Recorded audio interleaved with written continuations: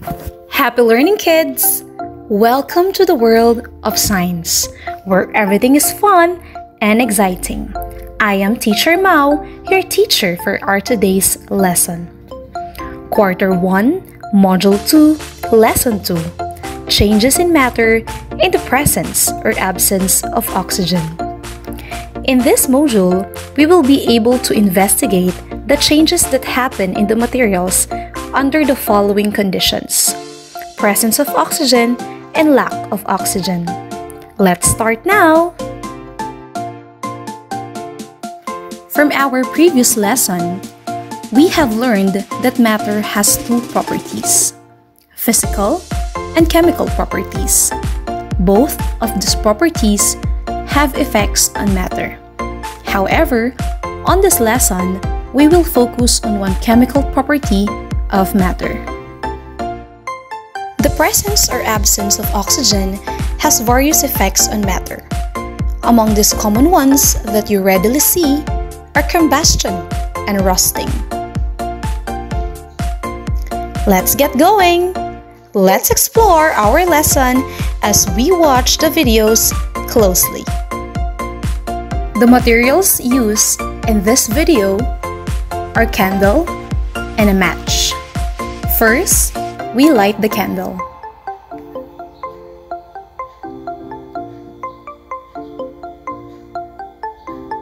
Then, cover the lighted candle with a glass jar.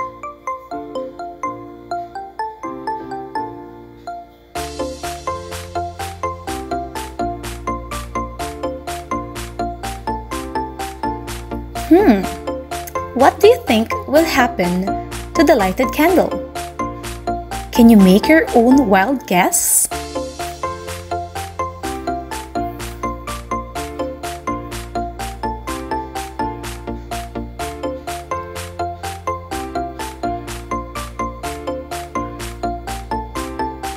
This one could take a moment, but it's worth the wait.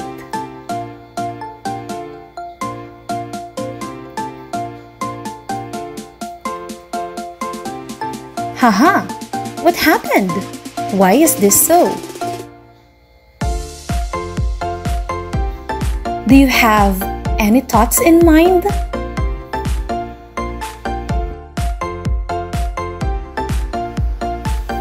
The candle was lit using a match.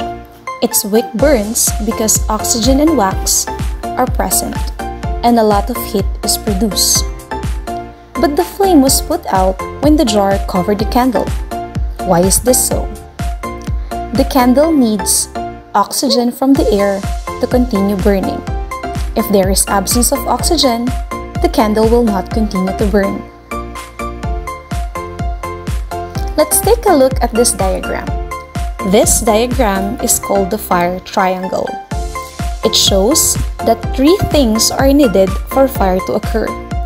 In order for fire to occur, there should be heat, fuel, and oxygen.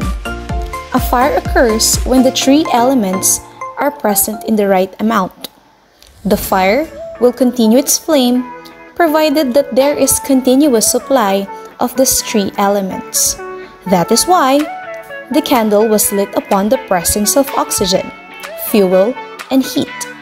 On the other hand, the flame was put out as the jar covered the candle. If is because of the absence of oxygen.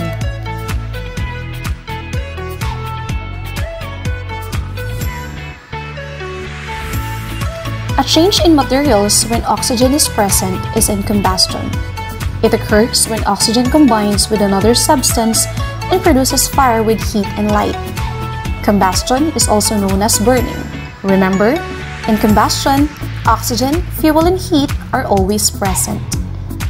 Moving on, you may have observed that some iron nails in your home have rust. Do you have any idea what causes the formation of rust? Rusting is caused by the reaction of iron with oxygen present in the air. This kind of reaction is slower than the rate of combustion. Remember, the amount of rust formed in an iron depends on the moisture and humidity of the surroundings. If oxygen is present in a wet material with iron, such as nail or steel bar, the formation of rust occurs. Remember, when iron, oxygen, and water react with one another, rust occurs. But there are ways to prevent rusting. Apply paint on the material and always wipe the material with a clean dry cloth after use. Let's have another example affected by the presence of oxygen. It is the exposure of fruits and vegetables. We will be using an apple for this example. Slice the apple into two.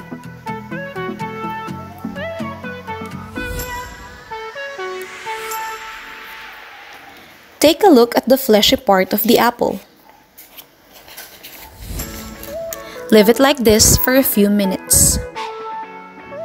Now, take a closer look at their colors after a few minutes. Why did they turn brown after slicing?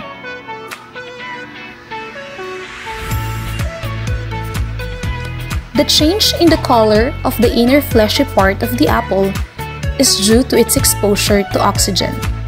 The oxygen present in the air reacts with the chemical present in the fleshy part of the apple.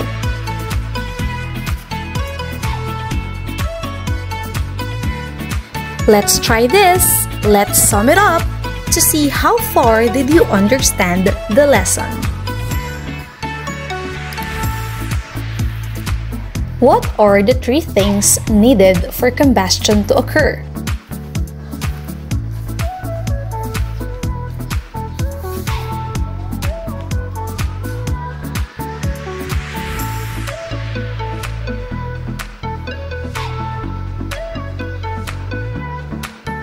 Correct! For combustion to occur, it needs oxygen, fuel, and heat. What are the two factors that influence the formation of rust on the iron?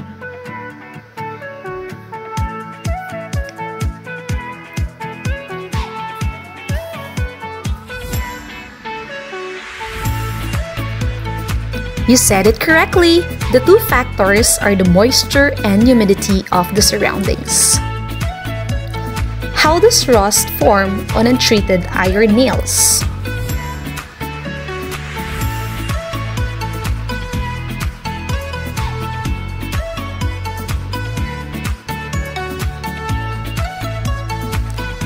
Great job!